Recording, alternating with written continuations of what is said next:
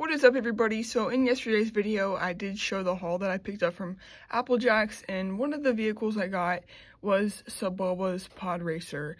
Um, really cool vehicle. I wanted to pick it up obviously because I got a lot of Pod Racer figures and yeah, um, for 35 bucks I was able to find it and I just opened it and got it all put together and the stickers and everything and here it is.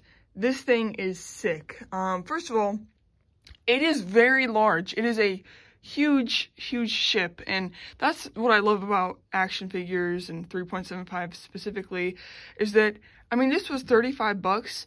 Um, the Lego Anakin's Pod Racer was 35 bucks as well. And I mean, that's Lego and it's smaller. And this looks, first of all, way more realistic. It's bigger and just super duper cool. So yeah, um, I did have to put it together and put some stickers on it, but it is just sick. And I was wondering how they were going to make this back part hover um, without, you know, like some invisible plastic or something to hold it up, kind of like how they do with the um, Lego Pod Racer. As you can see, they have the invisible plastic. Well, this wiring here is actually metal. So um, it you you pr pretty much stick the pins in here um, on the engine and then it holds up the cockpit because they are um, metalled wiring. Um, but here's the cockpit. Obviously, Sebulba has the signature um, orange on his pod racer. Um, there's his little cockpit there. And I am going to try to see if I can get the Sebulba figure in the cockpit itself. But here's the other engine. Really, really sick. And then obviously in the middle there, there's the electricity um, yeah. And then this thing, if you push it down, I'm not gonna, well, no, I'm not, I'm not gonna do it, but if you push it down, um, th these things swing open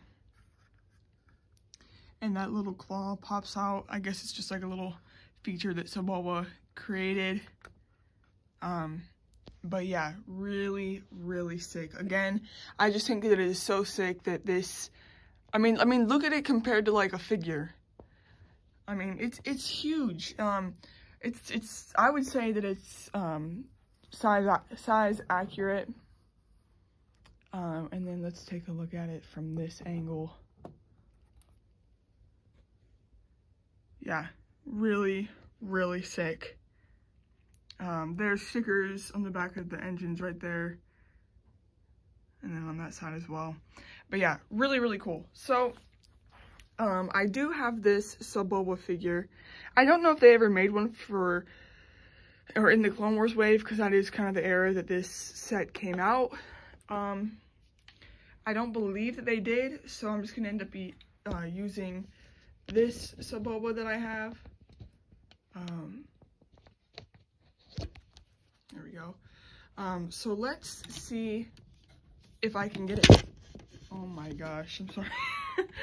um, trying to get this on my stand here and it's like, it does not want to cooperate. Um,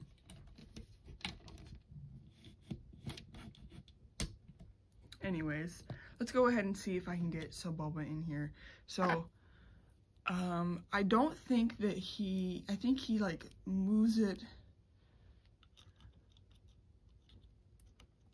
Oh, wow, okay, that was really easy. He fits perfectly.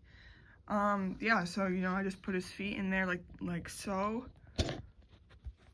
Um, or his arms technically because he's like, he's backwards with it. And then I just put his, his arms up and wow, that worked perfectly. So there is Sebulba in his pod racer. Is gonna want to focus there?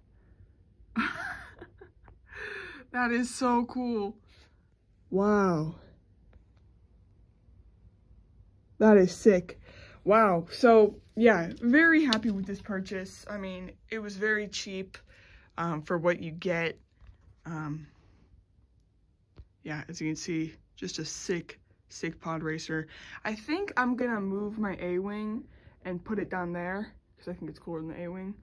Um, and then, yeah, I still have to um, add all my figures to the display really, really sick figs. Uh, my camera does not want to focus today. Jeez. Like every time I focus it, it just goes right out of focus. Um, but yeah, I need to add them to the display and I'm gonna add him to the display. So anyways, guys, if you did enjoy the video, make sure to hit like and I'll see you in the next one. Peace.